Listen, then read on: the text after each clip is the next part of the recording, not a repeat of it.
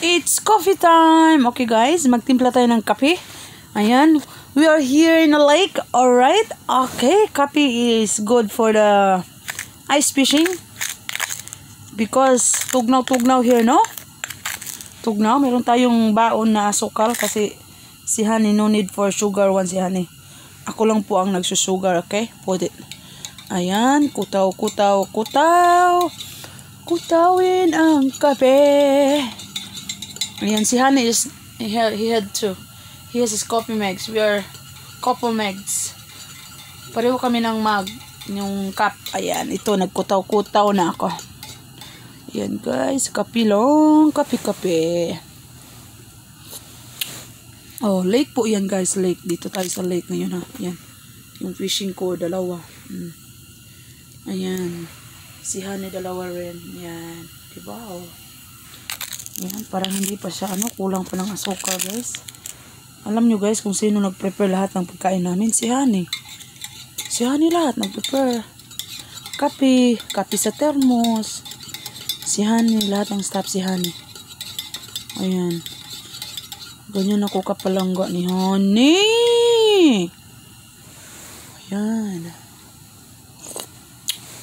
Even you, even he called me naughty wife, but it's okay. I love my naughty wife. See? Did you hear that? I love my naughty wife. Kape-kape guys. Kape dito sa I'm sila. really the naughty, not you. Tingnan nyo guys. Alam nyo guys, kanina yung pag pag ano na mo, pag taod na mo ng among tent. Ayan, tingnan mo ang tent namin guys. Oh. Wala na guys, nanugnaw ng akong mga paa. No? Nag ano na siya, nag nump na ba? Yan guys. Pero nakaya lang nako siya guys kasi murag ako lang siya gi-ignore. Ayan, kasi duha ang medyas nga akong gi sulob diha. Ayan si Honey ang boots niya o kapal din. Ang boots, boots, boots. Ayan, boots ko. Oh. Ayan, nakaharap ko sa heater namin kasi. Ayan. Ayan. So, I try naman ang best nako nga. Kahit pa paano, i-carry na ko ang tugnaw. Kapi lang katapat sa tugnaw, guys. Mmm. Diba? Mm. Dagdagan pa na tong kunti, no? Kutaw-kutaw lang. Namula na nga akong kamot. Actually, guys, na ako'y glove. Gipalitan ko ni Honey gloves gahapon og yung kuan yung uh, si tawag ni yung uh, sled ayan so dalawa na ang sled ko si Honey Honey you have two sleds No, you have a. Oh, you have two sleds. I only have one.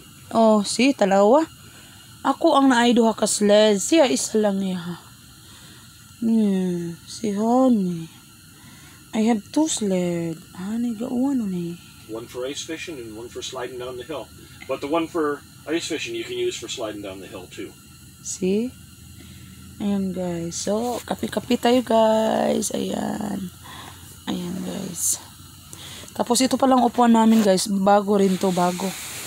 Ayan. Mayroon sa blue ang sa kanya. Ako green. Green color. Ayan. Kapi na tayo. Kapi. Ayan.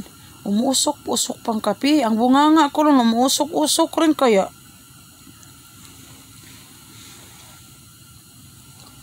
You're watching your poles, right? Yep. Poles is not moving. Ayan, I'm watching my pools. Maybe I catch That two of one's them. got a bobber, so you watch the bobber, the thing that's floating, the red and white thing. Yeah, I know. Goes bloop, you know a fish, right? Yeah, you taught me that. You taught me how to. If they keep moving, I mean, it means to say you got a fish already. We caught a fish. But see, I got two whole. So we have a good, good neighbors. I think two. I think couples also. Mm-hmm. They let us borrow the what do you call that, honey? Auger. Auger to dig the Their auger is better than our auger. yeah to dig the snow, honey, right? Yeah, to dig through the ice. Yeah, to dig through the ice. So, tingnan mo. Hindi na kami nagkanda kaya hirap sa amin. Pero maybe we save some save money from that. We're gonna buy that kind of thing. It's easier for us. Life is easier. Yeah, it was probably about four or five hundred dollars. Woo! Lord Jesus. Ang mahal pala noon.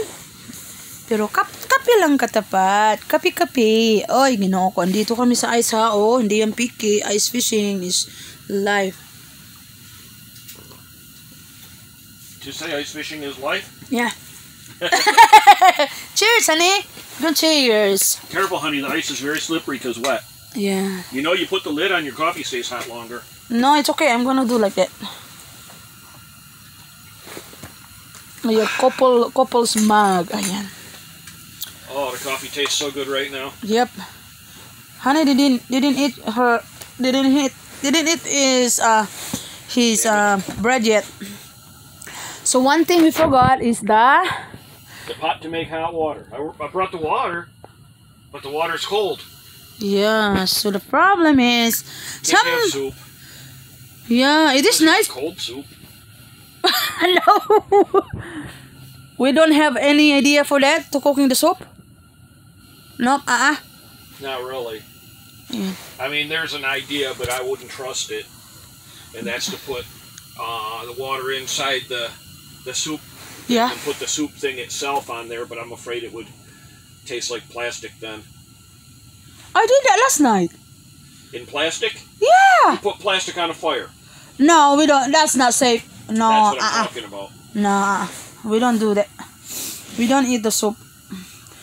Even it's very nice to eat the soup this kind of weather, but we don't do the the the, the stupid things, huh? Yeah, stupid husband.